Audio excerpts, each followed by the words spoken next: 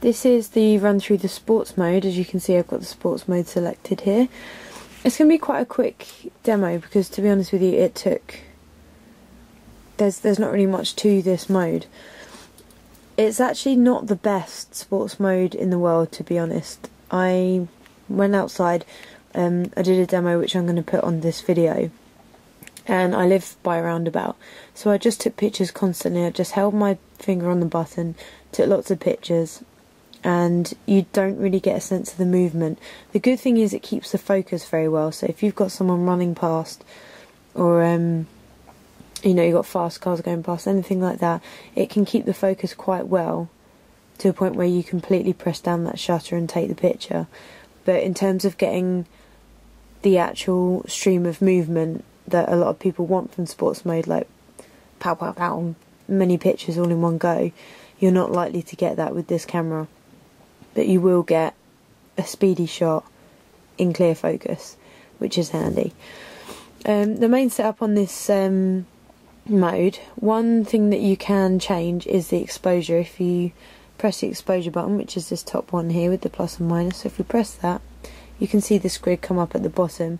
At the moment, it's telling us that it, there's no alteration in the exposure. The exposure's on zero, so it's the the basic setting that the camera's picked. Um, those two arrows either side just tell you that you can move the wheel to change that. So if we just up the exposure, you'll see that it's letting a lot more light and the image is a lot brighter. So vice versa, if we turn the wheel and go the other way, it'll go a lot darker. This can be handy if you're in a well-lit stadium or, um, you know, the other way around. If uh, the sports place you're in isn't actually very well lit, maybe like a skate park, something like that. It's always good to be able to change the exposure up or down and you can see that this um, square at the bottom reflects how much you're changing that exposure. I don't really feel the need to use this too often. The auto settings are pretty decent, but the option's there if you want it. So that's there.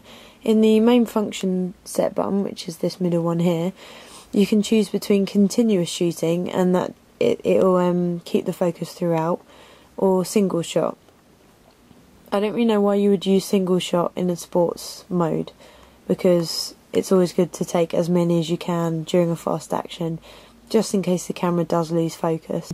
These other modes I've already covered in the automatic functions video if you want to have a look at that that will um, tell you about those.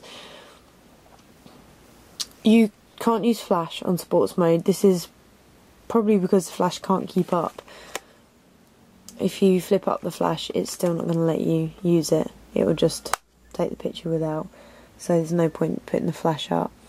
Um, this is also handy to have the uh, the exposure where you can put it up or down because without a flash you may find that you haven't got enough light so putting up that exposure is really going to help. Uh, I'm going to try and demo something moving fast taking a picture of it but I don't know how well that's going to come out because all I've got is the traffic outside and people walking past, but we'll see what we can do.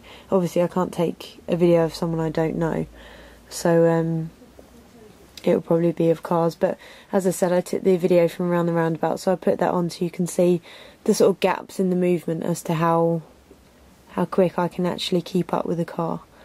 Alright, um, so I hope that helps. Any other questions, let me know. Okay, so this was a shot I did with the sports mode during daytime in traffic. Um, you can see a white car comes around the roundabout, and this is one after the other. I didn't stop between taking these pictures, so that's how much speed it can pick up in one go. Um, I tried this again at night time, but it just it couldn't keep up because it was too dark. Um, it basically they all blurred. It it doesn't deal particularly well in low light, unfortunately. It but during the daytime, as you can see, the focus remained on the car, and uh, it worked quite well. But um, you have to really try it in a lot of different situations. I haven't really had the right situation come up for me to try it out. Um, I then tried it in the garden.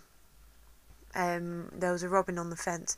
I stupidly decided to play with the exposure at this point at a time when I would not on that day and get the robin again. So these are quite overexposed, but um, nevertheless, you can see uh, the the robin does a noise and then it sort of puffs itself out. And I managed to get the three stages of that. So it is a little bit blurry as well. Again, I was just I was rushing to get the robin and I stupidly overexposed it and it just didn't look very nice. But I did get pictures later on. I'll put a couple of those on here as well. You'll probably see them coming up now. You ca- you could have got the robin in a much better quality, but I was too busy messing around, uh, and I didn't manage to get what I wanted from it. But yeah, the the robin's um, looking pretty cool. Overall, I think the um, the sports mode it's not wonderful. It's not the best. I would actually much rather take a picture in manual and get a decent picture than just using the sports mode and it being all blurry and not very nice.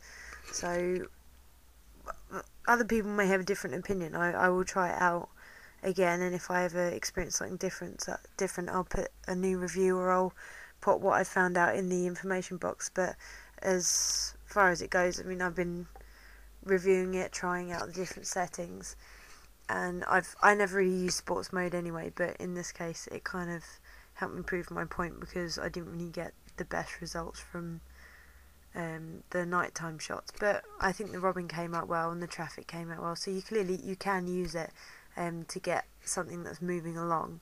But I don't know really if it's uh, wonderful compared to just using a manual setting with a quick shutter speed. So that's my views on the sports mode. Um, let me know if you've got any other opinions. And the next bit I'm going to be doing in my reviews is I'm going to be going through the scene selections. So there's a lot of presets in that video. There's going to be things like the snow mode, the fireworks mode. Um, it's quite a cool setup. They've got a lot of presets. And It's going to be quite a long video, so hopefully I won't ramble too much. And yeah, I hope you enjoyed this video.